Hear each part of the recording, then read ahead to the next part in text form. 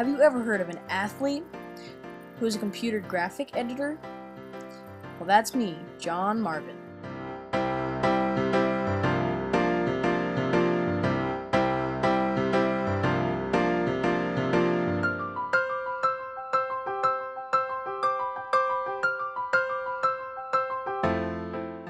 As you can see, I love sports, but I also love computer editing.